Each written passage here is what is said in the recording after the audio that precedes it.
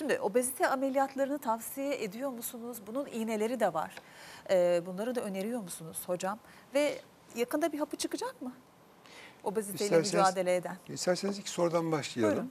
Obezite ameliyatlarının yapılması gerektiği koşullar çok net ve açık. Eğer obezite bir morbid obezite haline gelmişse, yani beden kitle indeksi neredeyse 40'ın üstüne çıkmışsa, o zaman obezite ameliyatı zorunlu hale gelebilir. Çünkü insanın, o insanın yaşamını kısa sürede sonlanması tehdidi vardır ve bu tehdidi bir an önce ortadan kaldırmak için o kişiye obezite cerrahisi uygulanması lazımdır. Ama bunun uygulanmasının gerektiği bir konsey kararıyla olmalıdır. Bir kurul kararıyla o kurulda mutlaka bir dahiliye doktorunun, mümkünse hatta bir endokrinoloğun, bir bu konuda deneyimli psikoloğun ya da psikiyatri uzmanının, bir beslenme uzmanının ve aynı zamanda bir e, obezite cerrahının tabii ki bulunması gerekiyor. Ama öyle yapılmıyor. Artık Yapılmıyor. obezite ameliyatları neredeyse merdiven altında yapılan ameliyatlara dönüştürülüyor ve bu nedenle her yıl çok sayıda insanımızı bu lüzumsuz ve yanlış yapılan ameliyatlar nedeniyle kaybediyoruz. Yani bugün yapılan obezite cerrahisi dedikleri cerrahi bir de güzel kılıf uydurdular metabolik cerrahi diye. Metabolik cerrahi diye bir cerrahi yok. Obezite cerrahisi diye bir cerrahi var. Ama obezite cerrahisi de morbid obezler uygulanır. Her obez uygulanmaz. Yani biz 30'u geçtiği zaman beden kitle indeksi o kişiye obez diyoruz.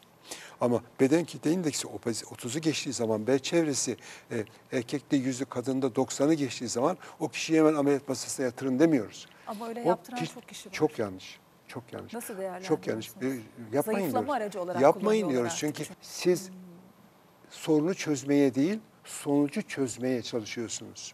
Eğer kişi metabolik sendromluysa, metabolik sendromunu tedavi etmeden metabolik sendromu tıraşlamanızın, ütülemenizin, hırpalamanızın bir anlamı yok. Rahmetli Süleyman Demirel bana öğretti ki hepimiz için bu bir hayat dersidir. İsterseniz siz de not alabilirsiniz. Bana bir gün sabahleyin bunu kahvaltıda söylemişti bir hatamdan sonra. Doktor dedi eğer sonuçları iyileştirmeye çalışırsan yeni sonuçlara katlanmak zorunda kalırsın. Tekrarlıyorum. Sonuçları iyileştirmeye çalışırsan yeni sonuçlara katlanmak zorunda kalırsın. Eğer o sonuçların sebeplerini bulur, iyileştirirsen oluşabilecek sonuçlara sen karar verirsin.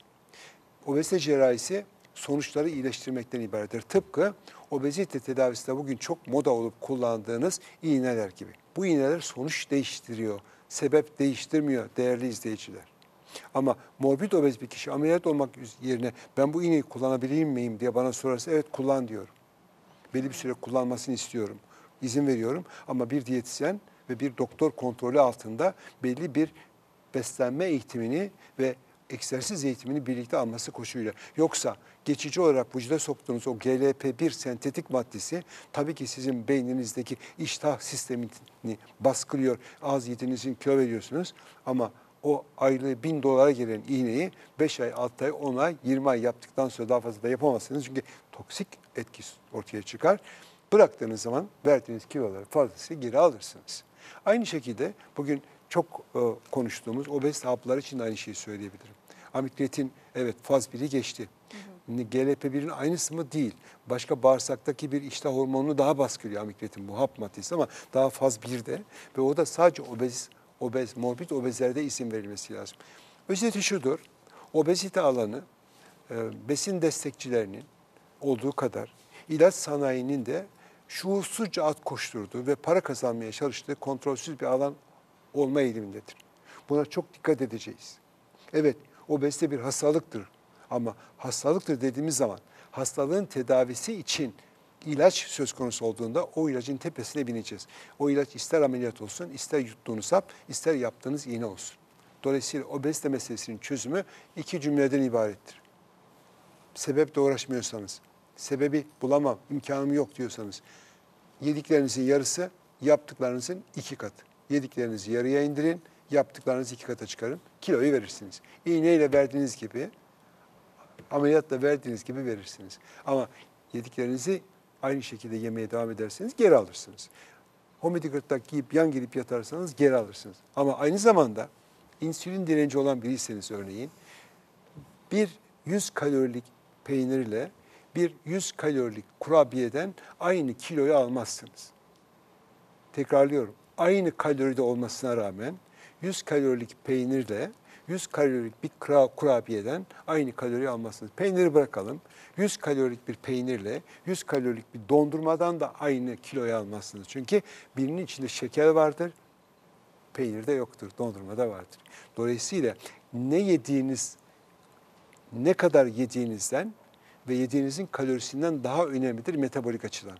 O nedenle matematiksel bir kalori formülasyonunu artık bıraktık. Ben de eskiden kilo matematiği diye bir yazı yazdım hatırlıyorum. Ama o yazının üstüne şimdi kocaman bir çarpı çektim. Çünkü bilim kendini yeniliyor ve bizim daha önceki hatalarımızı önümüze koyuyor. Hayır arkadaş siz bunu yanlış söylediniz bugüne kadar. Bu böyle olmayacak diyor. Bu yanlışı daha önce yumurtada yaşadık. Değil mi? Şimdi Evet. metabolik sendromda yaşıyoruz. Yani metabolik sendromu olup statin tedavisiyle kalp hastalarını tedavi etmeye çalıştığınız bir kişinin kalbini asla garantiye alamazsınız. Göbeğini eriteceksiniz. Başka hiçbir çaresi yok. Aynı zamanda bileceksiniz ki o kişi sadece kalp damar hastası adayı değil Nefise Hanım. Kanser adayıdır. O kişi aynı zamanda Alzheimer adayıdır. Tabii. O kişi aynı zamanda romatizma adayıdır. Yani obezitenin metabolik ve mekanik hatta psikolojik sonuçlarına katlanan bir problemi insandır. Çocukluk çağındaki obeziteyi konuşalım istiyorum hemen çünkü çocuklarımızda da çok görülmeye başlandı artık erken yaşta. Niye? Obez tanımlaması Niye size göre? Bence aslında çok bir sürü nedeni var diye düşünüyorum. Daha hareketsiz olmaları, belki o ellerindeki tabletler, onlarla çok Bravo, ilgilenmeleri, bravo, artık sokaklarda Bravo, oynayamamaları. bravo. Oynayacakları sokak park kalmadı. Kalmadı. Okul bahçelerine otopark yaptınız, Evet. kiraya verdiniz. Hareketsiz Okul aile birliği para kazansın diye. Ders saatlerini uzattınız, teneffüsleri kısalttınız. Çocuklar okulda sadece ders öğrenmiyor, hayat öğreniyor. Davranış biçimi öğreniyor, ilişki geliştirmeyi öğreniyor, sosyalleşmeyi öğreniyor. Ama aynı zamanda bedenini kullanmayı öğreniyor. Kapasitesini arttırma çabası içine giriyor. Ben çocukken benden daha iyi futbol oynayan arkadaşlarımı gördüğüm zaman daha iyi oynamak için ya da benden daha iyi yakan top oynayan arkadaşımı gördüğüm zaman daha iyi oynamak için çaba gösterirdim. Çünkü bizim günümüzün yarısı çelik çomak oynamakla ya da yakan top, voleybol, futbol oynamakla geçiyordu. Şimdi çocuklar oturuyorlar hareketsizler.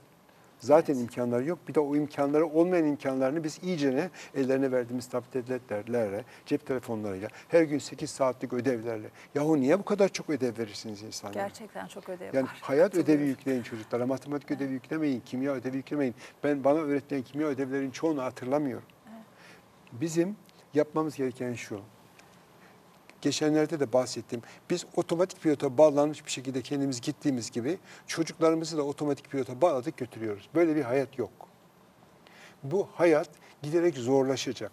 O nedenle onlara daha çok hayatı öğretmek zorundayız. Hayatı çalmak değil, tam tersine hayatın içinde onların zorluklarla savaşmasını, budanmasını, çoğalmasını, kırışmasını, buruşmasını ve kendilerini tekrar ütüleyebilmelerini, yani hayatla ilişki kurma yeteneklerini arttırmak zorundayız.